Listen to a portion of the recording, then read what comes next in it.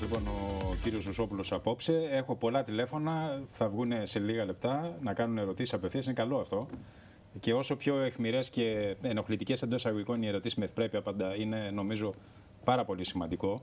Ε, εξάλλου, ο καλεσμένος απόψε δεν έχει κανένα πρόβλημα. Έχει τεράστια πελώρια εμπειρία ε, και από τηλεοράσει και από. Δεν είναι θέμα εμπειρία. Άμα έχεις να πεις αυτό που πιστεύεις ή την αλήθεια. Ακριβώς. Αρκεί να είναι καλοπροαίρετος ο άλλος που θα ανακατευθείς τώρα με την πολιτική, θα κατέβεις με τη Νέα Δημοκρατία. Πώς είναι η σχέση σου με το Μητσοτάκι. Η σχέση μου είναι πάρα πολύ καλή.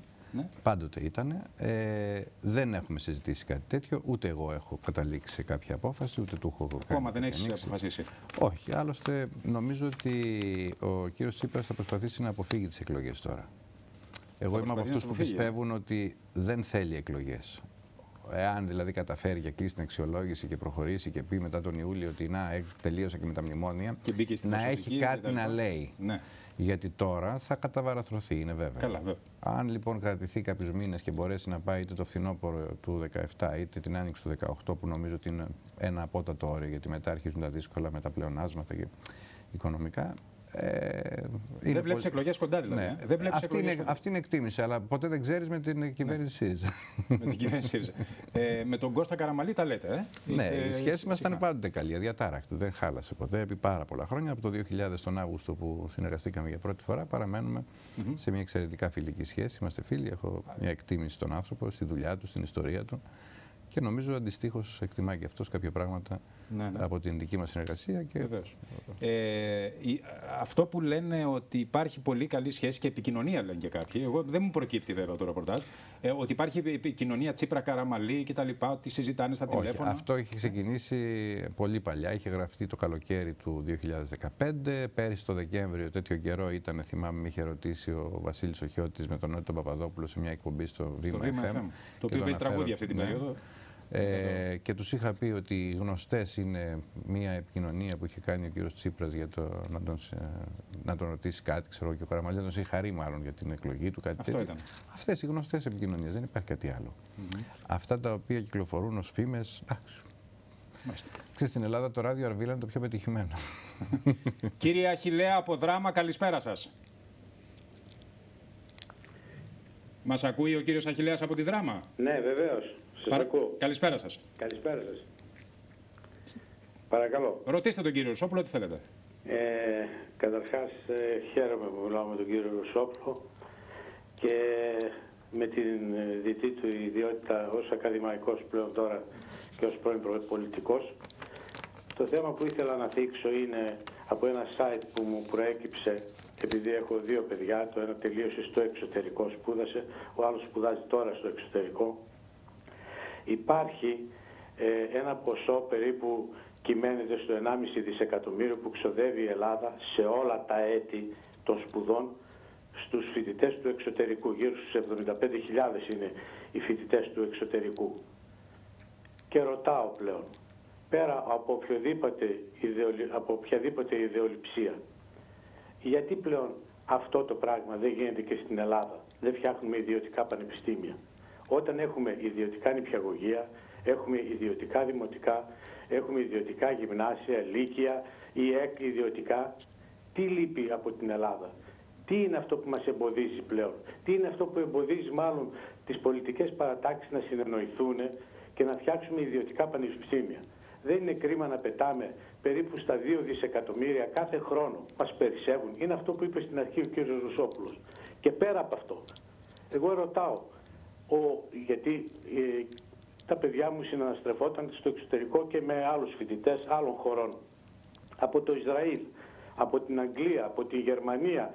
Εγώ πηγαίνουν τώρα στη Βουλγαρία, πηγαίνουν στην Πρατισλάβα, στην Ουγγαρία. Αυτοί δεν θα προτιμούσαν την Ελλάδα. Αν επιτρέπετε, σε ποια χώρα σπουδάζουν τα παιδιά σας; Ο τελευταίος μου γιος είναι στη Βουλγαρία. Ο πρώτος μου τελείωσε στην Πρατισλάβα. Δεν είναι κρίμα τόσα λεφτά να τα δίνουμε έξω. Ευχαριστούμε και εγώ πολύ. Κύριε Ρουσόπουλο, έχουμε κάτι κοινό μεταξύ μας. Και εμένα ο πατέρας μου είναι, ήταν ταχυδρομικός.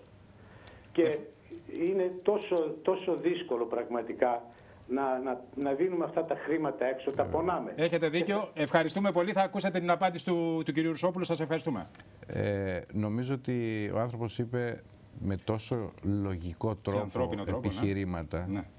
Τι να πει κανένας. Εγώ συμφωνώ 1000% με αυτό το οποίο είπε. Ναι. Είναι ο παραλογισμός ο οποίος υπάρχει στην ελληνική πολιτική σκηνή τις τελευταίες δεκαετίες και δεν επιτρέπει τη δημιουργία μη κρατικών πανεπιστημίων.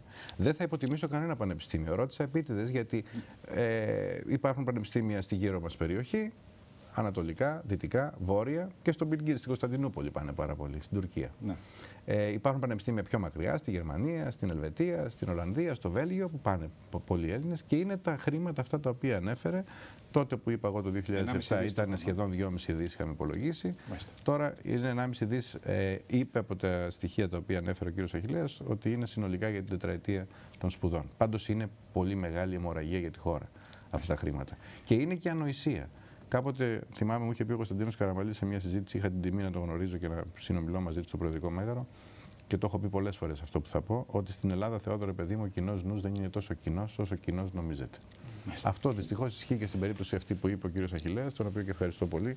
Επισήμανε με πολύ ωραίο τρόπο, τετράγωνο, λογικό, τον παραλογισμό της πολιτικής κοινή του τόπου. Ελπίζω στην επόμενη αναθεώρηση του συντάγματος να έχουν βάλει μυαλό οι περισσότερες από εκείνες τις παρατάξεις που με ιδεολειψία, γιατί οι ιδεολειψίες του παρελθόντος είναι, Υπάρχει μια ιδεολειψία, ας πούμε, που έχει να κάνει με τους αιώνιους φοιτητές. Α ας τους έχουμε και να υπάρχουν. Σε ποιο πανεπιστήμιο του κόσμου συμβαίνει αυτό; Υπάρχει μια ιδεολειψία η οποία φτιάχτηκε, εάν δεν με απατάει η μνήμη μου, επιχούντας. Δηλαδή, δόθηκε ως δώρος στους φοιτητές αυτό το να μην τους διώχνουν μετά από 4 ή 5 χρόνια, αν δεν τα έχουν καταφέρει.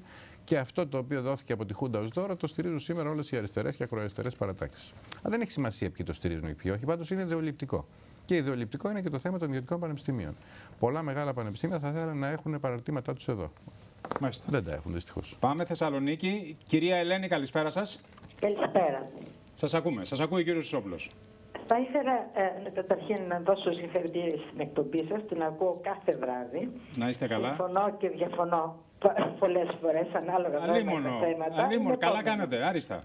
Ε, θα ήθελα λοιπόν να κάνω μια γενική ερώτηση. Παρακαλώ. Γιατί οι κυβερνήσεις χρόνια τώρα επιτρέπουν στους αναρχικού, στους καταληψίες, στους γνωστούς άγνωστου όπως τους λένε, να βανδαλίζουν, να καταστρέφουν δημόσια και ιδιωτική περιουσία, να δίνουν την εντύπωση ότι η πατρίδα μας είναι ξέφραγο αμπέλι και μπορεί ο καθένας να κάνει ό,τι θέλει και να μην πληρώνει, γιατί δεν τους συλλαμβάνουν και δεν τους υποχρεώνουν, δεν τους συλλαμβάνουν και να τους υποχρεώσουν αυτούς και τους γονείς τους, γιατί υπάρχουν και ανήλικα παιδιά και αλλοδαποί, να πληρώσουν τις ζημιές. Να νιώσουμε όλοι οι άλλοι που αγαπάμε την πατρίδα μας ότι υπάρχουν νόμοι, κανόνες και δεν μπορούν αυτοί οι εκατό, οι χίλιοι να ζηλεύουν την πατρίδα μας και την ιστορία μας. Ξέρω ότι το κακό ξεκινάει από το σπίτι. Πώς μεγαλώνουν τα παιδιά, αν έμαθαν οι γονείς τα παιδιά να αγαπάνε το σπίτι, τη γειτονιά, το χωριό, την πόλη, την πατρίδα τους και συνεχίζεται από το σχολείο, γιατί μέση συνταξιούχος του ε, εκπαιδευτικός. Δεν μαθαίνουν τα παιδιά, οι δάσκαλοι, να αγαπάνε την πατρίδα τους. Ξέρω ότι ξεκινάει το κακό από εκεί αλλά και οι κυβερνήσεις κάτι πρέπει να κάνουν. Να βάλουν κανόνες, να διορθώσουν αυτούς που δεν μάθανε τίποτα. Ευχαριστώ. Σας ευχαριστούμε πολύ, κυρία Ελένη. Καλό σας βράδυ. Καλό βράδυ. Έχει απόλυτο δίκιο και φυσικά στο μερίδιο που αναλογεί και στη δική μας την κυβέρνηση και επειδή ήμουν εκπρόσωπος της κυβέρνησης επί πάρα πολλά χρόνια, ναι, έχει δίκιο. Όπου δεν μπορέσαμε να κάνουμε τέτοια πράγματα που θα έπρεπε να κάνουμε, είμαστε κι εμείς υπόλογοι. Ε, γίνανε κάποιες προσπάθειες. Θα θυμίσω ότι δυστυχώς είχαμε απέναντί μας την, ε, αν όχι το σύνολο των μέσων ενημέρωσης, το σύνολο πολλών από εκείνους τους ακραίους οι οποίοι στη Βουλή είχαν δυστυχώς φωνή πιο δυνατή από ότι εμείς ως κυβέρνηση.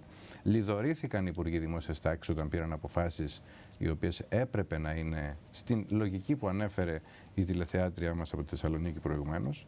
Και δυστυχώς δεν καταφέραμε να ελέγξουμε ούτε κι εμείς ε, αυτή την υπόθεση δεν είναι μόνο στη χώρα μας που συμβαίνουν διάφορα πράγματα έκνομα, αλλά τα παλαβά τα οποία συμβαίνουν στη χώρα μας αμφιβάλλω να συμβαίνουν σε άλλη ευρωπαϊκή χώρα. Αυτό που έγινε χθες το βράδυ, δηλαδή ότι κάψαν τρία τρόλεϊ. Αυτά τα παιδιά με τι κυκλοφορούν; Έχουν ε, Mercedes στο σπίτι τους, είναι από τα προάστια εκείνα τα οποία κινούνται με ιδιωτικά γιοταχή. Δεν καταλαβαίνουν ότι χτυπώντας τρία τρόλεϊ και καίγοντας συνεχώς τα λεωφορεία που κινείται ο κόσμος, ο οποίος πάει στη δουλειά του, δεν κινείται για διασκέδαση, δεν κάνει τουρισμό στο τρόλεϊ ο άλλος, ούτε στο μέτρο. Ε, και η επισήμανση βέβαια ότι όλα ξεκινάνε από το σπίτι και συνεχίζουν στο σχολείο είναι ακριβής. Πάμε στο νέο ψυχικό, στον κύριο Παύλο. Καλησπέρα σας. Καλησπέρα σας. Σας ακούει ο κύριος Ρουσόπουλος. Καλησπέρα κύριε Ρουσόπουλε. Καλησπέρα σας. ήθελα να κάνω την εξής ερώτηση. Στην περίπτωση που η Ελλάδα φύγει από το ευρώ και επαναφέρει τη δραχμή, τότε η ισοτιμία θα είναι 1 ευρώ ίσον 340 δραχμές όπως το 2001 ή θα είναι 1 ευρώ ίσον μία δραχμή όπως είχε πει ο κύριος Λαπαβίτσας σε μια προηγούμενη εκπομπή. Αυτό είναι, αυτή είναι η ερώτησή μου. Ε, Ευχαριστούμε κύριε Παύλο. Θα ακούσετε τώρα την απάντηση από τον κύριο Ρουσόμπλο. Σας ευχαριστώ πάρα πολύ. Ε, νομίζω ότι αυτό το οποίο είχε πει ο κύριος Λαπαβίτσα είναι εντελώς εκτός πραγματικότητα. Ελπίζω να μην χρειαστεί να φτάσουμε σε εκείνο το σημείο. Υπάρχουν διάφορες σχολές. Κάποια λέει ότι θα πρέπει να γυρίσουμε στη δραχμή, κάποια λέει να μείνουμε στο ευρώ και στην ΟΝΕ. Εγώ είμαι στη δεύτερη σχολή και θεωρώ ότι η χώρα μας για να διατηρήσει την όποια ισχύ μπορεί να έχει στο μέλλον θα πρέπει πάση θυσία να μείνει στην, ε, στην ΟΝΕ και στο ευρώ. Σε κάθε περίπτωση, αν συνέβαινε το πεφταίο, φοβούμαι ότι θα ήταν πολύ χειρότερη ισοτιμία από αυτή την οποία φανταζόμαστε. Κυρία Ελένη από Εγάλεο, καλησπέρα σας. Καλησπέρα. Καλησπέρα κύριε Ρουσόπουλε. Καλησπέρα σας. Και κύριε Λιάτσο, υγεία, ευτυχία και πάντα δυνατός για το Contra Channel. Κύριε Ρουσόπουλε. Χρόνια πολλά και σε εσάς κυρία Ελένη και χρόνια πολλά σε όλους. Και να έχουμε καλές γιορτές όλοι με υγεία. Παρακαλώ. Κύριε Ρουσόπουλε, ήσασταν ο εκλεκτός της ψυχής μας και το γνωρίζετε. Όμως είμαστε υποχρεωμένοι, επειδή άλλαξαν πολλά πράγματα, να σεβαστούμε και την τωρινή κυβέρνηση και τον κύριο Πρωθυπουργό ασφαλώς. Θα ήθελα να σας ρωτήσω τι συμβαίνει τριγύρω μας, τι είδατε, τι ακούσατε, τι γνωρίζετε για το προσφυγικό στοιχείο, μιας και είμαι από εκεί και το επισκέφτηκα πριν τρεις μέρες για σοβαρό πρόβλημα της μαμάς μου και είδα φρίκι, πραγματική φρίκη είδα τα παλικάρια μας, τους φαντάρους, να τρέχουν απεγνωσμένα και να πηδάνε φράχτες στο λιμάνι και να γυρίζουν πρόσφυγες πίσω με τα μπουλούκια που προσπαθούσαν να τρυπώσουν μέσα στο πλοίο ανεξέλεγκτοι. Είδα τους λιμενάρχες μας σε τρόμο. Είδα πράγματα που δεν περίμενα να τα δω. Με τρόμαξαν, με απογοήτευσαν. Μάλιστα. Ευχαριστώ πολύ κυρία Ελένη. Τι λέτε κύριε Το, το δυσάρεστο σε αυτές τις περιπτώσεις είναι ότι αναγκάζεται κανένας να κάνει αναφορές οι οποίες είναι και κομματικού χαρακτήρα. Ναι. Είναι ένα μεγάλο θέμα εθνικό. Ναι. Δεν μπορεί να τις αποφύγει όμως. Εγώ δεν θα ήθελα να υπάρχει αντιπαράθεση κομματική σε αυτό, γιατί είναι ένα θέμα που αντιμετωπίζει η πατρίδα μας. Τεράστιο πρόβλημα. Το αντιμετωπίζουν οι πολίτες, το αντιμετωπίζει η χώρα αυτή καθεαυτή. Μια αλλίωση τοπικών κοινωνιών και των στοιχείων εκείνων τα οποία γνωρίζουμε ως λαός. Όμως δεν μπορώ να μην σημειώσω ότι η σημερινή κυβέρνηση πήγε από το ένα άκρο στο άλλο και ξαναγυρίζει δειλά-δειλά σε μια προσπάθεια αυτή που είχε ήδη προχωρήσει η προηγούμενη κυβέρνηση του να ενισχύσουμε τους τρόπους φύλαξης αυτών των ανθρώπων. Η προώθηση και η επαναπροώθηση έχει τις δυσκολίες που γνωρίζουμε. Η Ευρωπαϊκή Ένωση, αν μας αφήσει μόνος μας, βεβαίως δεν πρόκειται να κάνουμε τίποτα. Και φυσικά, εάν η Ευρωπαϊκή Ένωση σπάσει κάποια στιγμή τη συμφωνία με τον κύριο Ερντογάν, τότε σίγουρα θα είναι χειρότερα τα πράγματα για μας. Δεν μπορώ να μην σημειώσω λοιπόν ότι αυτές οι μεγάλες κουβέντες που λεγόντουσαν, να κλείσουμε τη, τα κέντρα εκείνα που είχαμε και στην Αθήνα και όπου αλλού, για να φτάσουμε σήμερα να φτιαχτούν κέντρα τα οποία είναι και χειρότερα από εκείνα που είχαν φτιαχτεί, έδωσαν ένα στίγμα, δεν θα πω τώρα δηλώσεις του τύπου που πηγαίνουν και γυρίζουν και λιάζονται και διάφορα, επειδή είναι αστεία ας πούμε, ε, έδωσαν ένα στίγμα πολιτικής που κατέστρεψε και την εικόνα αυτής της χώρας. Δεν πληροφορήθηκαν κάποιοι από τους πρόσφυγες που ήρθαν ότι εδώ είναι μπάτες χίλια λέστε και ήρθανε. Φοβούμαι ότι συνέβη και αυτό. Δεν τηρήσαμε αυτή την γραμμή. Βεβαίως, δεν θέλω να είμαι άδικος απέναντι στις συνθήκες. Οι συνθήκες είναι πάρα πολύ δύσκολες. Δεν ξέρω πώς θα χειριζόταν η Γερμανία ή η Ιταλία. Το είδαμε στο παρελθόν με την Ιταλία να τους πετάει στη θάλασσα. Θα μπορούσαμε ή θα θέλαμε κάτι τέτοιο; Υπάρχει μια ανθρωπιά. Δηλαδή, να πω ένα μικρό παράδειγμα. Όταν το 1922 οι Έλληνες έφευγαν πρόσφυγες όπως γνωρίζουμε με τον τρόπο αυτόν τον χιδαίο που λειτουργήσαν οι Τούρκοι και οι νεότουρκοι του Ατατούρκ, πολλοί από αυτούς δεν ήρθαν στην Ελλάδα, πήγανε στη Συρία και μάλιστα πήγανε σε ποια πόλη, στο Χαλέπι. Και υπάρχουν φωτογραφίες, αν μπει κανείς σήμερα στο διαδίκτυο και θα βρει ασπρόμενε φωτογραφίες στο Χαλέπι να είναι Έλληνες από τη Μικρά Ασία στην ουρά για να πάρουν το συσίτιο. Και τους φέρθηκε ο Ερυθρός Σταυρός στα περίπου 10.000 Έλληνες εκεί, το 22, στο Χαλέπι. Το οποίο Χαλέπι σήμερα έχει ε, ισοπεδωθεί από τους βομβαρδισμούς του Άσαντ. Τους φέρθηκε των ανταρτών βέβαια. Τους φέρθηκαν οι άνθρωποι εκεί με αγάπη, σαν να ήταν αδέλφια τους. Είναι μια αγκαλιά, λέω, που οφείλουμε από το παρελθόν σε κάποιους ανθρώπους, αλλά δεν μπορούμε και να αντέξουμε και τα εκατομμύρια και όλο το βάρος, και όλο το βάρος. Δεν γίνεται Μάλιστα. να το αντέξουμε μόνοι μας. Πάμε στην Κύπρο. Κυρία Νόνη από Κύπρο, καλησπέρα σας.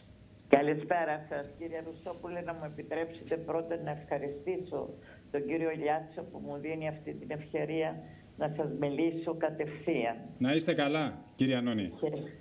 Χαίρομαι που θα μιλήσω μαζί σας και να σας ακούσω γιατί πάντα όπως είπε και η προηγούμενη ακροάστρια είσαστε η κορώνα στο κεφάλι μας όταν είσαστε στη Νέα Δημοκρατία. Σας είχαμε πάντοτε απέραντη αγάπη και εκτίμηση. Όμως μας προδώσατε και εσείς και ο Κωστάκης μας ο Καραμαλής. Δηλαδή όταν είδατε ποιες υποψηφιότητες έπεφταν, γιατί δεν τρέξατε, γιατί δεν σταθήκατε έτσι ηρωικά όπως πάντα. Να πείτε είμαι και εγώ παρό, είμαι και εγώ εδώ. Το άλλο που ήθελα να σας ρωτήσω είναι για το θέμα του Κυπριακού και για τον υπεράξιο πρόεδρό μας, αν νομίζετε ότι μπορεί να το λύσει. Εγώ είμαι εξ Ελλάδος και παντρεμένη στην Κύπρο και έχω χρόνια εδώ. 40 χρόνια, μια ολόκληρη ζωή. Αλλά μέσα στην καρδιά μου, στην ψυχή μου, στο είναι μου, στις φλέβες μου, στο αίμα μου, είναι η Ελλάδα μας. Γι' αυτό σας παρακαλώ, γυρίστε πίσω κοντά μας. Ευχαριστούμε πολύ κύριε Ανώνη. Θα ακούσετε τώρα την απάντηση του κυρίου Ρουσόπουλου. Ε, εις ό,τι αφορά το πρώτο θέμα, φαντάζομαι ότι αναφέρεται στις ισοκομματικές εκλογές. Ναι. Ε, ο Κώστας Καραμάλης παρετήθηκε από τη στιγμή που παρετήθηκε από αρχηγός, δεν θα πήγαινε ξανά να γίνει υποψήφιος αρχηγός. Νομίζω δεν θα είχε ε, και δεν έχει τέτοιο ενδιαφέρον. Ε, άρα δεν μπορώ να πω κάτι περισσότερο. Ε, Ευχαριστώ όμω. Άρα, δηλαδή, αν καταλαβαίνω τώρα με την ευκαιρία, δηλαδή ο Καραμαλής, ας πούμε, δεν θα ξανακατευθεί με την πολιτική; Δεν μπορώ. Και στην πολιτική είναι ο Καραμαλής, γιατί ναι. ένας άνθρωπος ο οποίος είναι όχι απλώ βουλευτής, αλλά είναι ένας πρώην πρωθυπουργός με μια παρουσία πολύ σημαντική επί Λέει τη γνώμη του για διάφορα θέματα. Όταν δεν... Ναι. Ε... Τον κατηγορούν διάφοροι, λέει, μιλάει πολύ συχνά και τέτοια. Ναι. Εντάξει. Ε, όταν χρειαστεί να μιλήσει κάποιος και έχει βαρύτητα, δεν χρειάζεται να μιλάει κάθε μέρα. Καλά, αυτό, κάθε αυτό μέρα, είναι σωστό. Ναι. Είναι λίγο στα πρόβατα. Αν μιλήσεις μια φορά σωστός, μπορεί να έχει και κάποια αξία. Σωστό. Ε, εγώ ευχαριστώ πάντως και ε, όλες τους τηλεθεατές και τηλεθεάτρες για τα πολύ καλά τους λόγια και είμαι υπόχρεος. Να πάω στο δεύτερο θέμα, το οποίο θεωρώ πάρα πολύ σημαντικό. Το Κυπριακό. Το θέμα του Κυπριακού. Έτυχε από το πέρυσι τον Ιούλιο που συνεργάζομαι με το Ευρωπαϊκό Πανεπιστήμιο να έχει ε, να με έχουν καλέσει σχεδόν σε όλε, όχι σχεδόν όλες οι τηλεοπτικές εκπομπές, τηλεοράσεις στην Κύπρο, ε, έχω μιλήσει σε εφημερίδες κλπ. Είχα πάντα την ίδια άποψη. Μακάρι να λυθεί το Κυπριακό, αλλά φοβούμαι ότι δεν είμαστε κοντά. Είμαστε πιο κοντά από κάθε άλλη φορά. Ε, ένα μεγάλο ζήτημα που τίθεται είναι εάν πραγματικά εννοούν οι Τούρκοι και όχι η τουρκοκυπριακή κοινότητα, γιατί επί της ουσίας αυτός που κινεί τα νήματα είναι ο Ερντογάν. Ο άνθρωπος που είναι δίπλα στον Ακιντζή και γίνει ο διαπραγματευτής είναι ένας άνθρωπος που απολύτω εμπιστοσύνης στο Ερντογάν, το γνωρίζουν πάρα πολύ καλά οι Κύπροι φίλοι. Εάν εννοούν λύση πραγματική, ε, εγώ αυτή τη στιγμή δεν το βλέπω. Υπάρχουν κάποιες συζητήσεις ε, το τελευταίο 20ήμερο, οι οποίες μας κάνουν λίγο πιο αισιόδοξους. Μακάρι να μπορούσα να είμαι στην πλευρά των αισιόδοξων, δύσκολο πολύ βλέπω ε, να έχουμε λύση. Το μεγαλύτερο πρόβλημα, να το πω με ένα παράδειγμα που το είδα στο Πανεπιστήμιο, ρώτησα τους φοιτητές μια μέρα. Ναι. Τώρα που γίνονται συζητήσεις, mm -hmm. στο Μόν Πελεράν, στην Ελβετία κλπ. Πόσοι από εσά θέλετε να λυθεί το Κυπριακό; Πάει να σηκώσει το χέρι μια κοπέλα και το κατεβάζει αμέσως και μου λέει: Κύριε, τι εννοείται να λυθεί, ποια θα είναι η λύση; Λέω ασχέτως του αν. Να μην συζητήσουμε τη λύση τώρα, πάμε στο επόμενο βήμα. Αλλά θέλετε να λυθεί. Τα περισσότερα παιδιά λοιπόν είναι πολύ επιφυλακτικά των 18, 20, 22 ετών. Υπόθηκε από τον Νίκο Αναστασιάδη κάποια στιγμή και έχει υποθεί και από άλλους πολιτικούς ηγέτες ότι όσο περνάει ο καιρός, οι γενιές εκείνες που ζούσαν μαζί Ελληνοκύπροι και Τουρκοκύπροι χάνονται. Ναι. Άρα αυτή η, ε, η συνάφεια που έδινε στον άλλο να καταλάβει ότι ο Τουρκοκύπριος δεν είναι ο εχθρός μου, ο Ελληνοκύπριος δεν είναι ο εχθρός μου. Ναι. Ήρθε η Χούντα της Ελλάδος και έκανε ό,τι έκανε, τη γνωστή, ε, το γνωστό πραξικόπημα με τον Σαμψόν, προσπάθησε να ανατρέψει τον Μακάριο. Ήρθε η Τουρκία και έκανε την εισβολή μπήκαν χώρες που υποτίθεται ήταν εγγύητριε δυνάμεις και δυστυχώς δημιούργησαν όχι στο ίδιο ποσοστό προ Θεού, αλλά πάντως δημιούργησαν πρόβλημα. Και το πρόβλημα είναι μεγάλο, 42 χρόνια τώρα. Μακάρι να μπορούσα να είμαι αισιόδοξος. Δεν είναι ένα θέμα το οποίο το παίζει κανείς στα ζάρια, ούτε ρίχνει τα χαρτιά για να πει. Ο Νίκος Αναστασιάδης έχει δείξει πάντως ότι ενδιαφέρεται να λύσει το Κυπριακό. Το είχε δείξει από το 2004 από τον Μπίργκενστοκ, τότε στη συζήτηση που έγινε μέσω του ΟΗΕ για το θέμα του σχεδίου ΑΝΑΝ. Ήμουνα παρόν. Είμαστε μόλις 15 μέρες κυβέρνηση τότε που είχαμε πάει και χειριστήκαμε ένα πολύ σύνθετο και πολύ δύσκολο θέμα, βεβαίως με τον Τάσο Παπαδόπουλο το συγχωρεμένο και όλη την κυπριακή πολιτική ηγεσία. Γιατί στην Κύπρο, Εμίλια, υπάρχει κάτι το οποίο εγώ το θαυμάζω. Οι Κύπροι ηγέτες των κομμάτων συνομιλούν μεταξύ τους και αυτό δεν, και δεν αποτελεί είδηση το ότι συνομιλούν, αλλά το θέμα για το οποίο μιλάνε. Στην Ελλάδα, αν μιλήσει κάποιος με έναν του αντιπάλου κόμματος, είναι είδηση για ότι μίλησε. Ναι. Και το άλλο που παρατήρησα, επειδή έτυχε ανάμεσα στις προηγούμενες εκλογές τις ε, βουλευτικές πριν από λίγους μήνες, και διοργανώσαμε ένα debate μεταξύ των προέδρων των δύο μεγάλων κομμάτων. Δηλαδή του ΔΙΣΥ, του Δημοκρατικού Συναγερμού και του ΑΚΕΛ. Οι πρόεδροι, πέντε μέρες πριν τις εκλογές, μου ζήτησε το Πανεπιστήμιο να συντονίσω αυτό το debate και θυμήθηκα τα παλιά μου στη δημοσιογραφία. Σε ένα αμφιθέατρο γεμάτο 800 φοιτητών. Πέντε μέρες πριν τις εκλογές έλεγε ο ένας καλά λόγια για τον άλλον. Όχι για τα πάντα, ναι. Εδώ στην Ελλάδα δεν υπάρχει περίπτωση να πούμε καλά λόγια ένας για τον άλλο. Συνήθως θα είμαστε στην ε, απόλυτη αντιπαράθεση και αυτό που βλέπει ο κόσμος μετά μία στο καφενείο της Βουλή που μιλάνε από δύο κόμματα, σου λέει Α, είναι υποκριτές, με κοροϊδεύουν. Αν είμαστε λίγο στο δημόσιο λόγο μας πιο γαλαντόμοι απέναντι στους πολιτικούς αντιπάλους, ίσως τα πράγματα θα ήταν καλύτερα. αλλάξουν σιγά σιγά. Ίσως. Κυρία Έφη από Πάτρα, καλησπέρα σας. Δεν την έχουμε. Δεν πειράζει. Ε, η Όλγα Ικαλατζή, η συνάδελφός μου, βγήκε το μεσημέρι με κάμερα στο κέντρο της Αθήνας και έχουμε πάρει ορισμένες ερωτήσεις για σένα. Θέλω να τις παίξουμε και να δώσεις απαντήσεις. Είναι πολύ ενδιαφέρουσες. Κύριε Καλοκαιρινέ, Φώτης Λάμπρου είναι ελεύθερος επαγγελματίας. Για να δούμε τι ρωτάει τον κύριο Ρωσόπουλο. Τι ήταν εκείνο που τον έκανε και απήχε για ένα μακρύ χρονικό διάστημα από τις οποιοδήποτε εκδηλώσεις της Νέας Δημοκρατίας; Ε, στις εκδηλώσεις της Δημοκρατίας δεν πήγαινα γιατί υπήρχε αυτή η περίοδος στην οποία δυστυχώς ε, από ανώτατα κλιμάκια είχε απαξιωθεί ε, η ταπεινότητά μου. Στη συνέχεια βέβαια εκλήθη στα 40 χρόνια της Νέας Δημοκρατίας από τον Αντώνη Σαμαρά. Ναι και έκτοτε είναι παρόν. εγώ θα ρωτήσω τώρα. Ε, δεν, δεν είναι μυστικό. Ο Αντώνης Σαμαράς είχε κάνει μια δήλωση έξω από τη Ριγίληση, η οποία ήταν λίγο απαξιωτική για μένα και για κάποιους άλλους συναδέλφους. Ότι, αποφάσισα... ότι δεν ε, χωρά στη Νέα Δημοκρατία, κάτι τέτοιο; Ε, Κάπως έτσι νομίζω. Κάτι ότι με, με πρόσωπα του παρελθόντος δεν ασχολούμαι. Δεν ασχολούμαι με πρόσωπα του παρελθόντος. Ναι. Εντάξει. Ε, δεν έχει καμία Αλλά σε κάλεσε αργότερα όμως. Ναι. Ναι, με κάλεσε στα 40 χρόνια τη Δημοκρατίας. Με κάλεσε αργότερα όταν είχε χάσει την εκλογή, αλλά κυρίως όταν ήταν πρωθυπουργός στα 40 χρόνια της Νέας Δημοκρατίας. Δεν ήταν με δική μου λοιπόν θέληση που απήχα από κάποιες εκδηλώσεις. Ναι. Γιατί εγώ είμαι στο χώρο αυτό και έχω δουλέψει, θέλω να πιστεύω, όχι όσο λίγη, αλλά πάντως έχω δουλέψει με σοβαρότητα και εντυμότητα. Ναι και με μεθοδικότητα, όπως είπες προηγουμένως. Πράγμα που ακόμα και αντίπαλοι μου και σήμερα το αναγνωρίζουν. Το, ναι. το γεγονός, μου επιτρέψετε, είναι λίγο εγωιστικό θα το πω, ε, να το πω εγώ. Ε, αν το έλεγε εσύ δεν θα ήταν, αλλά το, το λέω εγώ. Ε, είπε ο μόνο εκπρόσωπος κόμματος, ο οποίος έμεινε σχεδόν 9 χρόνια, 8,5 χρόνια. Αυτό είναι αλήθεια. Δηλαδή, κάθε, Πόσο δύσκολο κάθε είναι να είσαι εκπρόσωπος. Κάθε 6 μήνες αλλάζει από το 2014 και μετά δεν υπάρχει αυτό το ρεκόρ. Πόσο δύσκολο είναι να είσαι εκπρόσωπος. Είναι πάρα πολύ δύσκολο, αλλά νομίζω ότι ένας από τους λόγους που και οι δημοσιογράφοι, δεν θα σου πω ότι ήμουν με όλους φίλους, και παράπονα υπάρχουν και πολλοί έχουν δίκιο. Γιατί άμα δουλεύεις από το πρωί, εγώ πήγα στο γραφείο στις 6 παρά το πρωί ναι. και τελείωνα αργά το βράδυ. Ναι. Άμα δουλεύεις το πρωί το βράδυ, έχεις συνεχώς πολλά τηλεφωνήματα, πολύ κόσμο να δεις, πολλή δουλειά να κάνεις. Σε μερικούς δεν σήκωνες και το τηλέφωνο. Είναι βέβαιο ότι θα υπάρχουν Κάποιοι θα ήταν παραπονημένοι. Έχεις λοιπόν πάρα πολύ ε, κουπί να τραβήξεις. Δεν μου λες, δεν είναι εύκολο. Προσπάθησες να τα έχεις καλά με όλο το φάσμα, το εκδοτικό, το μηντιακό, για να κάνεις καλό στην κυβέρνηση Καραμαλή; Όχι, αν τα, είχα καλά, αν τα είχα καλά με όλο το μηντιακό φάσμα, νομίζω ότι δεν θα είχα προβλήματα τα οποία είχα. Ναι. Ε, δεν θέλησα να τσακωθώ με κανένα προσωπικά, ούτε θέλησα να αντιπαρατεθώ εγώ. Με δική μου πρωτοβουλία δεν αντιπαρατέθηκα. Mm -hmm. ε, η ιστορία το αποδεικνύει. Όποιος διαβάσει και μελετήσει σιγά σιγά και, και προσεκτικά μερικά πράγματα θα καταλάβει. Ναι. Αλλά δεν είναι τόσο σπουδαία η δική μου προσωπικότητα για να μιλάμε για ιστορία. Μιλάμε για τη μικρή ιστορία του καθενός. Ο καθένας έχει τη δική του ιστορία. Ε, ε ωστόσο, είχε πει νομίζω ο Πλάτωνας ότι δεν ξέρω ποιος δρόμος είναι που οδηγεί με τα βεβαιότητα στην επιτυχία, αλλά ξέρω ποιος οδηγεί με τα βεβαιότητα στην αποτυχία. Στην αποτυχία. Το να προσπαθήσει να τα έχεις καλά με όλους. Αυτό είναι οδηγεί στην αποτυχία. το Μητσοτάκι πώς τον βλέπεις, έχει, έχει τα φόντα για να, για να γίνει ένας καλός πρωθυπουργός; Λένε ότι εντάξει, προέρχεται ο άνθρωπος από μια συγκεκριμένη πολιτική οικογένεια. Δεν είναι σαν το γιο του ταχυδρόμου, ας πούμε. Έρχεται από, έρχεται από ένα πιο. Δηλαδή ξεκίνησε να παίζει στο πρωτάθλημα ε, της πρώτης κατηγορίας με τη μία. Δεν πέρασε από τις αριστερικέ ναι. κατηγορίες κτλ. Βρέθηκε στο σαλόνι. Έχει τα φόντα ε, πρώτον να κρατήσει τη Νέα Δημοκρατία ενωμένη. Οι δημοσκοπήσεις βέβαια τον φέρνουν τώρα μπροστά λόγω των προβλημάτων που έχει ο ΣΥΡΙΖΑ και λόγω της οικονομικής κρίσης. Αυτή είναι η πραγματικότητα. Και άλλοι λένε πολύ ότι δεν εισπράττει ο Μητσοτάκης, αλλά χάνει ο Τσίπρας. Χάνει ο ΣΥΡΙΖΑ, δηλαδή χάνει ναι, η ναι, κυβέρνηση. Ναι. Έχει τα φώτα Μητσοτάκης; Το δεύτερο είναι κάτι που λέγεται συνήθως. Αυτό ακούγεται συνήθως και ε, ε, γίνεται σε μια προσπάθεια υποτίμησης του αρχηγού της αξιωματική ναι. αντιπολίτευσης που διεκδικεί την Πρωθυπουργία.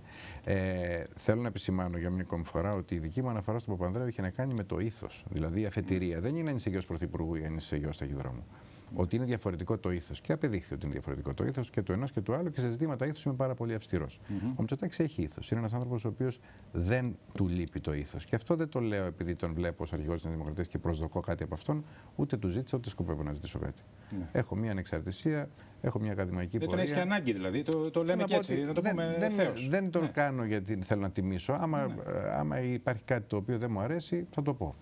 Ε, εκείνο το οποίο μου αρέσει πάρα πολύ είναι ότι είναι ένας άνθρωπος που είναι αρκετά οργανωμένος και οργανωτικός. Και η χώρα χρειάζεται τέτοιους ανθρώπους mm. σε εποχές. Δείχνει να, ψηφ, να ψηφά και το πολιτικό κόστος, δηλαδή εμφανίζεται. Έχει δείξει έχεις, ότι έχεις σύνθημα η μάχη της αλήθειας, ας πούμε, τέτοια πράγματα. Ναι, δεν ξέρω ε, πόσο αυτό βοηθάει, γιατί οι εκλογές γίνονται πάντοτε και με κάποιες υποσχέσεις. Με παροχές και με υποσχέσεις. Γίνονται και με κάποιες υποσχέσεις. Αλλά το θέμα είναι ότι τι, τι μπορεί να υποσχεθεί κανείς σήμερα. Όταν σχεδόν τα πάντα και πάντως οι μείζονες αποφάσεις είναι προκαθορισμένες. Είδαμε τι συνέβη με τον Τσίπρα τις τελευταίες ημέρες που υποσχέθηκε να δώσει το, το επίδομα. Εσύ, αν ήσουν Τσίπρας, ήσουν πρωθυπουργός, ας πούμε, ή κτλ., σύμβουλος του πρωθυπουργού του σημερινού, θα, θα, του, θα έκανες εισήγηση να δοθεί το επίδομα; Πώς το βλέπεις; Έγινε μια πολύ ενδιαφέρουσα δημοσκόπηση, διακόπτω τώρα, από την εταιρεία Alco για το News 247. Και το ερώτημα βέβαια ήταν τα δύο ερωτήματα. Τα κοινωνικά μέτρα στήριξης, δηλαδή το επίδομα και το ΦΠΑ στα νησιά. Ναι. Και εδώ τα ποσοστά σε όλα τα κόμματα είναι συντριπτικά.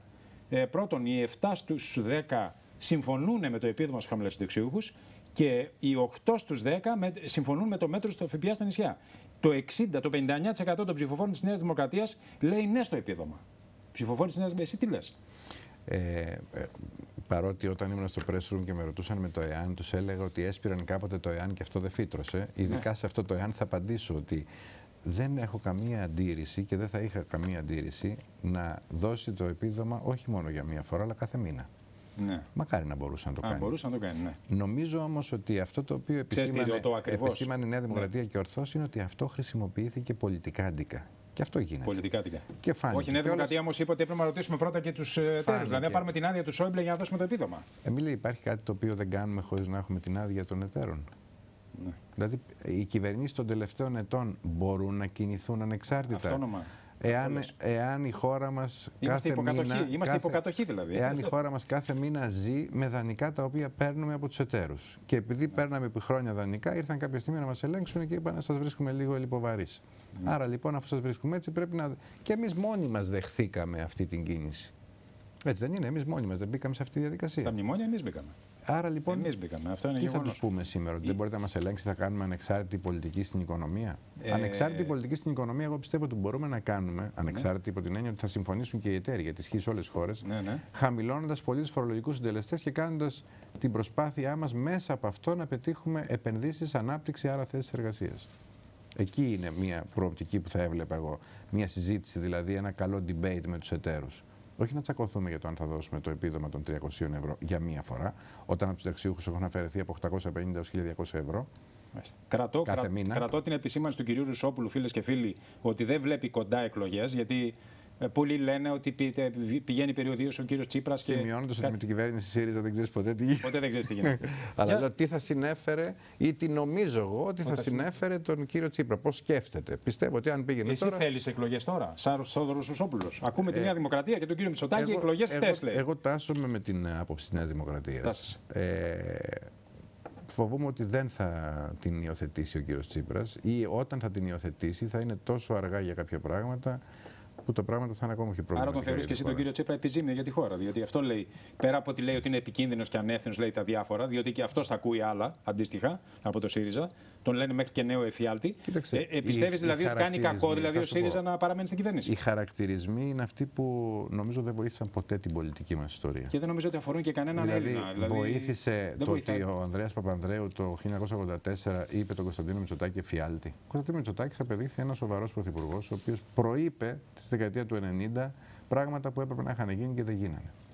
Βοήθησε την πολιτική αντιπαράθεση. Αν καταλάβουμε ότι πρέπει να ξεφύγουμε από αυτό το τύπο την πολιτική αντιπαράθεση, που είναι απλώς λόγια του αέρα, για να Ναι, τα ακούει ο έχεις κόσμος δίκιο. και να Συμφωνώ νιώθει, απολύτως. Α, ωραία, τάσο με το Ρουσόπουλο. Από εγώ λοιπόν ότι είναι απαταιώνας, ο τάδε απαταιώνας εκεί. Αυτές είναι εύκολες κουβέντες. Γίνεται επί της ουσίας δουλειά. Δηλαδή στο σπίτι, όταν η νοικοκυρά θα πάει να μαγειρέψει το μεσημέρι και θα τσακωθεί με τα παιδιά της, θα μαγειρέψει με τα λόγια. Δεν θα βάλει την κατσαρόλα να μαγειρέψει φασολάδα. Δεν θα μαγειρέψει ένα φαγητό να φάνε. Με τα λόγια λοιπόν. Ε, με τα λόγια δεν γίνεται. γίνεται. Δεν γίνεται, δεν γράφεται ιστορία. Γράφεται μυθολογία. Γράφεται παραφιλολογία. Οι μάζες ξεσηκώνονται, γιατί φυσικά το όπλο του πολιτικού είναι ο λόγος από αρχαιοτά των χρόνων. Αλλά δεν αρκεί αυτό. Είμαστε σε εποχή που δεν αρκεί μόνο ο λόγος. Τώρα, θα έρθει κάποιος και θα μου πει: Μα τι μα λέτε, Ρουσόπουλε, δεν είδες τι έγινε στην Αμερική με τον Τραμπ, που είπε αυτή την περίφημη, ε, αυτό που χαρακτηρίζεται πια ως μεταλήθεια και είναι η λέξη της χρονιάς κατά το λεξικό της Οξφόρδης ή του Κέμπριτζ, νομίζω της Οξφόρδης. Δηλαδή ότι λέμε κάτι που είναι αληθές, αλλά το μπερδεύουμε με πράγματα τα οποία είναι στο φαντασιακό και θα ήθελε όλος ο κόσμος και έρχεται μαζί μας. Έτσι κέρδισε σε ένα μεγάλο ποσοστό ο κύριος Τραμπ τις εκλογές στην Αμερική και υπάρχουν και άλλοι λόγοι που έχουν να κάνουν με επιστροφή στις ρίζες, με εθνικισμούς, με εθνικές ταυτότητες. Όχι κατά ανάγκη είναι αρνητικοί όλοι οι λόγοι, έτσι προς Θεού. Γιατί η εθνική ταυτότητα είναι ένα πολύ σημαντικό πράγμα για κάθε ε, πολίτη, και για κάθε έθνος, για κάθε χώρα. Ε, αυτά τα, τα πολύ σύνθετα ζητήματα δεν αντιμετωπίζονται λοιπόν με συνθήματα. Πέρασαν οι εποχές των συνθήματων. Έχεις δίκιο. Δημ- Ο κύριος Δημήτρης είναι συνταξιούχος. Για να δούμε τι ρωτάει ο κύριος Δημήτρης. Ε, όταν έλθει στην εξουσία, τι σκοπεύει να κάνει για όλο αυτό το μπάχαλο που υπάρχει; Εγώ ευτυχώς δεν, Θέλουν να σε βάλουν. δεν Βλέπω αντιμετω- ότι δεν πολλοί αντιμετωπίζω κόσμος θέλει να σε βάλει αυτό πάλι το στη- δίλημα τώρα. Στη οπότε- μάχημη πολιτική. Δεν αντιμετωπίζω αυτό το δίλημα τώρα, οπότε δεν μπορώ να απαντήσω. Δεν για μπορεί να τίποτα. απαντήσεις αυτό. Αντώνης επίσης συνταξιούχο, ο κύριος Αντώνης. Τι προβλέπουν αυτοί, βλέπουν ε, ε, εμείς σαν ε, πολίτες βλέπουμε ότι πάμε κάθε μέρα σε χειρότερο. Αυτοί σαν πιο πεπειραμένοι και τα λοιπά βλέπουν καμιά βελτίωση στην κατάσταση της Ελλάδος ή θα συνεχιστεί αυτό; Πολύ εύστοχος ο, Είναι ο πολύ φίλος εύστοχο μας. και απαντά ουσιαστικά εμέσως και ο ίδιος. Εάν συνεχίσουμε έτσι, δηλαδή με παλινοδίες, δεν υπάρχει περίπτωση να έχουμε καλύτερη ε, κατάσταση στην οικονομία μας. Εάν δεν υπάρχουν σταθερές που πρέπει να ακολουθηθούν. Μα τι δεν κάνει σωστά ο, Τσι- ο κύριος Τσίπρας αυτή τη στιγμή υπηρετεί το μνημόνιο όπως το υπηρέτησε ο Σαμαράς με τον Βενιζέλο Το μνημόνιο, και όπως το έκανε ο Γιώργος Παπανδρέου. Τι δεν κάνει καλά; Ευθύς εξ αρχής δεν ήταν ένα Ευαγγέλιο το οποίο ακολουθούν οι πιστοί. Ναι. Ακολουθήθηκε σαν Ευαγγέλιο και απεδείχθη ότι και οι ίδιοι οι οποίοι το έγραψαν αυτό το Ευαγγέλιο, το κατά. Έχει και λάθη, το μεγάλα. κατατάδε- Α, ναι, εγώ καταδίνουν πιστεύω ότι είναι το όλο λάθος, μνημόνιο αλλά εν πάση κλπ. περιπτώσει, ναι. Έχει πάρα πολύ σημαντικά λάθη. Ναι. Ε, ένα από τα προβλήματα. Αφού αναγκάστηκε όμως και ο κύριος Τσίπρας να φέρει και το αριστερό μνημόνιο που λέμε, Ναι. το, το, το, πώς να το πω, το τηρεί, το σαφές τηρεί ότι απαρέκκλητα. χωρίς, είναι σαφές ότι χωρίς αυτό δεν μπορούμε να βγούμε από την κρίση. Ναι. Είναι σαφές γιατί έχουμε ανάγκη, όπως είπαμε, να ζήσουμε με τα χρήματα τα οποία δανειζόμαστε και τα οποία θα πληρώνουμε τις επόμενες δεκαετίες ή εκατονταετίες.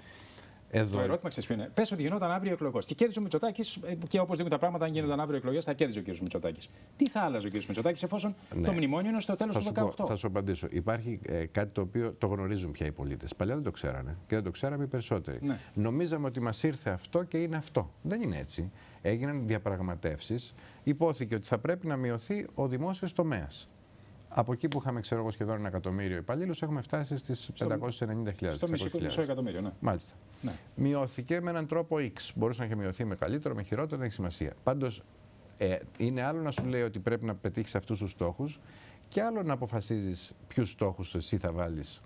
Μάλλον από πού θα βγάλεις τα χρήματα. ναι. Έρχεται ένας στόχος. Πρέπει φέτος να εξοικονομηθούν τόσα χρήματα. Από πού θα τα εξοικονομήσει είναι θέμα της κυβέρνησης. Δεν είναι θέμα μόνο της Τρόικα. Ελέγχεται η κυβέρνηση για το αν αυτά που λέει είναι αληθή και αν θα έχουν αυτή την απόδοση. Πάντως Ή- ο κόσμος, ο κόσμος, Θόδωρε, από τη Νέα Δημοκρατία και ενώ τη Νέα Δημοκρατία της διετίας 12-14 δεν είναι καθόλου ευχαριστημένος, διότι μειώθηκε το εισόδημά του, η ενεργεία εκτοξεύτηκε στο 27%. Εκεί ξεκίνησαν τα πελώρια προβλήματα πλέον που τα αντιμετωπίζουμε τώρα και όσο περνάει ο καιρός τα βλέπουμε ακόμα περισσότερο οξυμένα στην τσέπη μας, στην οικογένειά μας. Ο Ναι. καθένας έχει, κάθε σπίτι έχει ανέργους.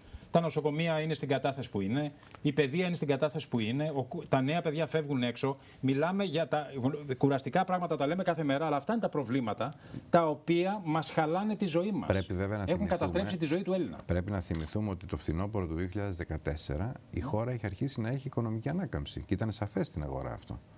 Οι εκλογές του Ιανουαρίου του 2015 είναι που δημιουργήσαν το μείζον πρόβλημα. Εάν είχαμε πάει σε εκλογή Προέδρου Δημοκρατίας και τελείωνε και η αξιολόγηση, δεν θα χρειαζόταν ένα επόμενο μνημόνιο όπως χρειάστηκε επί, επί ΣΥΡΙΖΑ και μάλιστα μετά από παλινοδίε πολλών μηνών. Αυτή είναι η δική μου άποψη. Λες, λες ότι αν δεν πηγαίναμε σε εκλογές θα είμαστε σε καλύτερη φάση σήμερα. Βεβαίως, ναι. Αυτό πιστεύεις. Ναι, ναι. Σωτήρης Κομματσιούλης είναι τραγουδιστής. Παρακαλώ, κύριε Καλοκαιρνέ. Εγώ απλώς θα ήθελα να ρωτήσω τι πρόκειται να γίνει, αν ανέβει πάλι η Νέα Δημοκρατία, αν θα αλλάξει κάτι ή αν θα είναι πάλι τα ίδια πράγματα που ήταν πριν και χειρότερα. Γιατί όποιος και ανέβηκε αυτή τη στιγμή, μόνο για τον εαυτό του κοιτάνε, έτσι. Και κανέναν άλλον και τίποτα. Και δεν υπάρχει αξιοκρατία πουθενά. Μα πουθενά. Είναι πολύ, πολύ σωστό το ερώτημα Ναι. κατά τη γνώμη μου και πολύ αληθινό ερώτημα. Ε, το σημαντικότερο από όλα είναι το θέμα της αξιοκρατίας. Αυτό που νιώθει ένας πολίτης, ότι ζει σε ένα κράτος που δεν αξιολογεί τον πολίτη για αυτά τα οποία ο ίδιος ως ικανότητα, είτε από σπουδές είτε από εμπειρία, απέκτησε από τη ζωή του και θα έρθει να τον εκτιμήσει, να τον αξιολογήσει με αυτόν τον τρόπο. Θυμάμαι και θα σου πω μια ιστορία που δεν την έχω πει ποτέ. Το 2004 είχα κάνει μια πρόταση στην Κυβερνητική Επιτροπή, η οποία έλεγε το εξής. Μία φορά το χρόνο ε, Ξεκινάω αλλιώς. Ποιες είναι οι εξετάσεις στην Ελλάδα που θεωρούνται ότι είναι πλέον αδιάβλητες, οι πανελλήνιες. Οι πανελλαδικές εξετάσεις που δίνουν οι μαθητές. Έλεγα λοιπόν να κάνουμε πανελλήνιες εξετάσεις για το δημόσιο τομέα. Μία φορά το χρόνο, περιμήνα Νοέμβριο μάλιστα είχα προτείνει, για να έχουν τελειώσει και οι δημοτικές κάθε τέσσερα χρόνια που γινόντουσαν Οκτώβριο και να μην πέφτουμε θύματα προεκλογικών υποσχέσεων διαφόρων επιτιδίων. Να ορίζουν από το Μάρτιο, Απρίλιο, Μάιο όλα τα Υπουργεία και οι δημόσιοι οργανισμοί τις ανάγκες τους. Να έρχεται το Γενικό Λογιστήριο του Κράτους με το Υπουργείο Οικονομικών και να λέει ποιες από αυτές τις ανάγκες μπορεί να ικανοποιήσει και το Νοέμβριο να δίνονται εξετάσεις για να μπαίνουν με πανελλήνιες εξετάσεις στο ελληνικό δημόσιο στις θέσεις τις οποίες ε, έχει προκηρύξει το ελληνικό δημόσιο. Όταν ρωτήθηκα από κάποιον υπουργό ή κάποιον υπουργό, δεν έχει σημασία να πω το όνομα τώρα, Μα είναι δυνατόν να κάνουμε τέτοιες εξετάσεις και τους εναερίτε της ΔΕΗ πώς θα το κάνουμε; Λέω τους εναερίτε της ΔΕΗ είναι άνθρωποι που ανεβαίνουν στις κολόνες. Ε, θα βάλεις κάποιε προδιαγραφές, δεν μπορεί να είναι άλλος 150 κιλά και να ανέβει, είναι πιθανόν να μην μπορεί να ανέβει. Και πάντως μπορούμε να κάνουμε το εξής που κάναμε με τον Οργανισμό Εργατικής Κατοικίας. Τότε μέσα σε μια κληροτίδα με παρουσία εισαγγελέω κληρονόντουσαν σπίτια. Δεν μπορούμε να κάνουμε το αντίστοιχο για θέσεις στις οποίες τα προσόντα θα είναι συγκεκριμένα και έχουμε μεγάλη... δεν μπορούμε να του βάλουμε να γράψουν εξετάσεις. Αυτή η απλή πρόταση δυστυχώς δεν έγινε δεκτή. Δεν πέρασε. Δεν συζητήθηκε πολύ. Εάν είχε υπάρξει αυτή η πρόταση, θα είχε αποκατασταθεί το, ε- σ- στην πράξη το αίσθημα εμπιστοσύνης του πολίτη προς την πολιτική. Γιατί ο πολίτης δεν εμπιστεύεται το κράτος, το κράτος δεν εμπιστεύεται τον πολίτη. Και για να το καταλάβει ο καθένας, δεν λέω κάτι σύνθετο, αλλά να το δώσω να το προσωποποιήσουμε λίγο. Είμαστε σε μία σχέση συζυγική, φιλική. Εάν δεν εμπιστευόμαστε το σύζυγό μας ή τη σύζυγό μας, δεν εμπιστευόμαστε το φίλο μας, θα λειτουργήσει αυτή η σχέση. Αυτή είναι η σχέση του πολίτη με το ελληνικό δημόσιο. Το ελληνικό δημόσιο πιστεύει ότι ο πολίτης τον κλέβει, ο πολίτης πιστεύει ότι το ελληνικό δημόσιο τον κλέβει και δεν τον εμπιστεύεται και τον αδικεί. Για να αποκατασταθεί το αίσθημα της αξιοκρατίας λοιπόν στο δημόσιο, γιατί και αναφερόταν ο κύριος που μίλησε προηγουμένως, νομίζω ότι μια διαδικασία εντελώς αδιάβλητη θα μπορούσε να βοηθήσει. Μάλιστα. Έχουμε 12 λεπτά και έχω ακόμα 6 ερωτήσεις. Θα παρακαλέσω για σύντομη απάντηση για να τις ακούσουμε όλες. Έχουν ενδιαφέρον. Η κυρία Χριστίνα, η οποία Θόδωρε είναι και άνεργη. Κύριε Καλοκαιρνέ, αν γίνουν κυβέρνηση και είναι στα πράγματα, τι θα κάνει για τους άνεργους, για τους άστεγους, για τις συντάξεις, για, για όλα αυτά τέλος πάντων.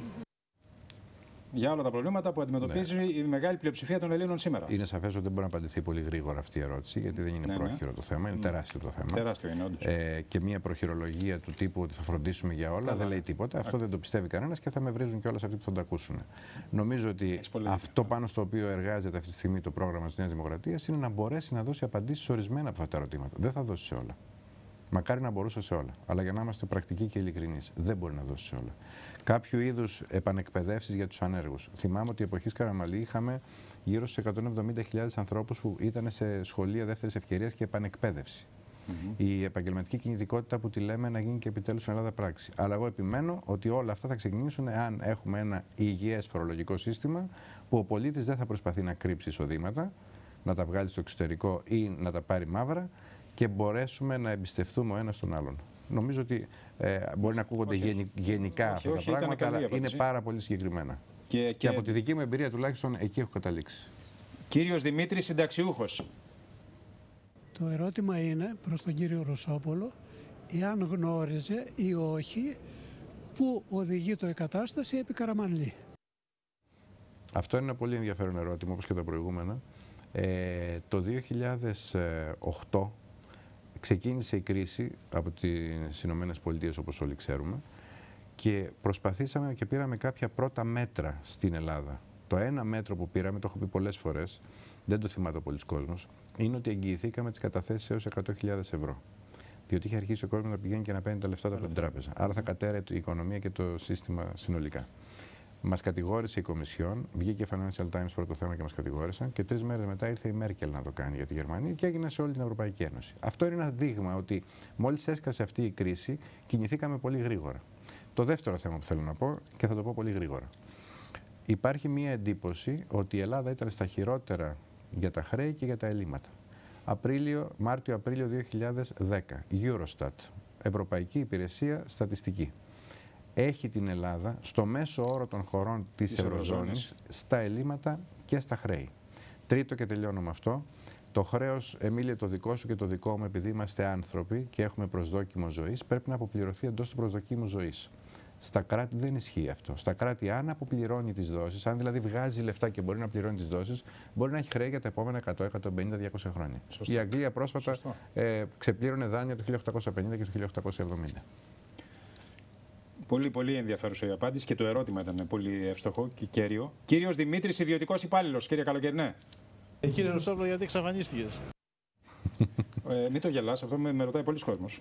Με ρωτάει πολλοί κόσμος γιατί εξαφανίστηκες. Βέβαια, εγώ καταλαβαίνω γιατί έχεις εξαφανιστεί και πίκρα και απογοήτευση από πολλά πράγματα και κούραση ψυχική σε ορισμένα θέματα και απογοήτευση, διότι και το επίπεδο, να το πούμε τώρα, γιατί ο κόσμος το ξέρει καλύτερα από μένα, το επίπεδο των πολιτικών, Θόδωρε, είναι χαμηλό.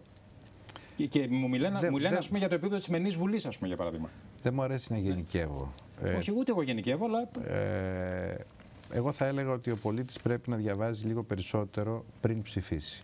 Ναι. Είτε είναι προγράμματα, αν έχει την άνεση να διαβάσει. Σήμερα πια με το ίντερνετ, εφημερίδες θα γράφουν κλπ. Θα μου πει κανείς τι να πιστέψω και τι να μην πιστέψω.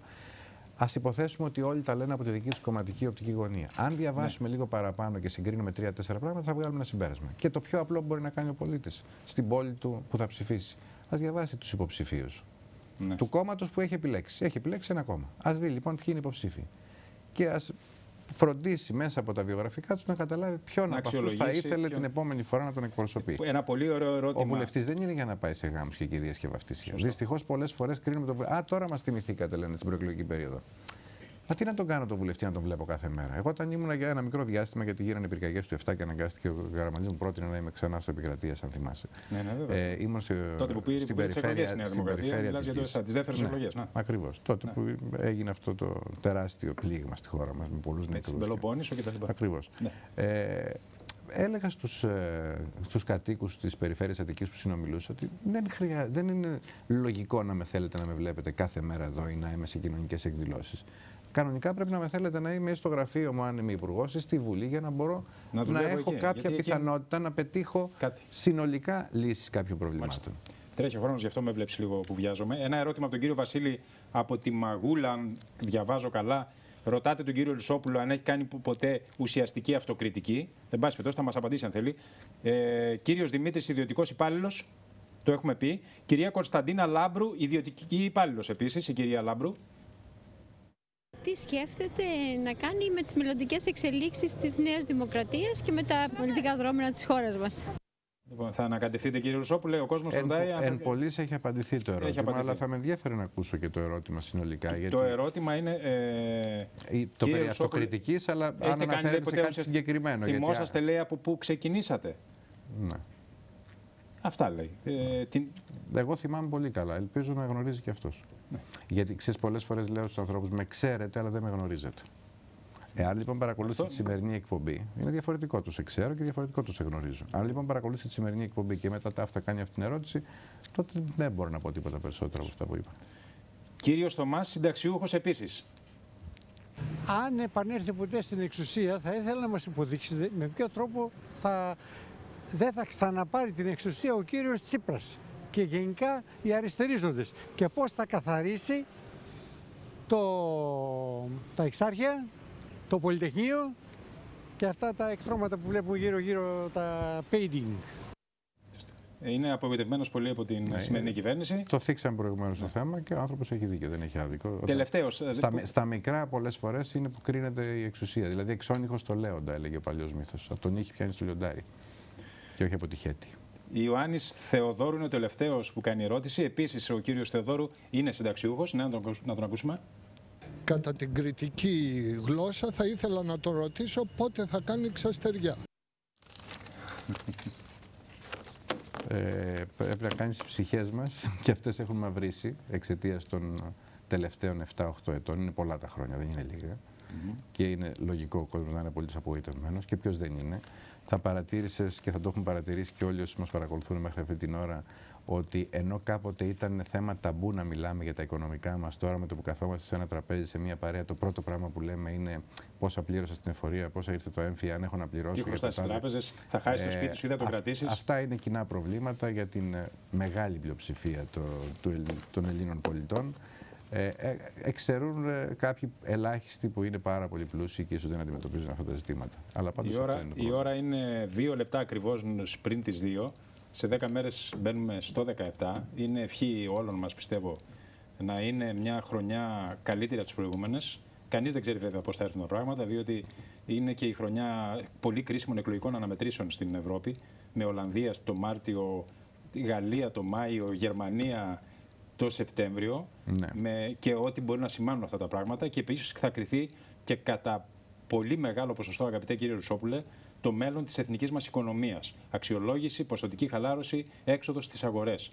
Ε, θέλω να κλείσετε εσείς, σας δίνω έτσι ένα λεπτό, με μια ευχή ε, και ότι μια Ε, δική σας σκέψη. Πριν πω την ευχή και γιατί επειδή ένιωσα ότι λίγο τον αποπήραμε τον ε, άνθρωπο αυτόν που πήρα. Για την από Αργούλα αυτοκριτική. Δεν προηγουμένως, νομίζω ναι. ότι είχε. Ναι.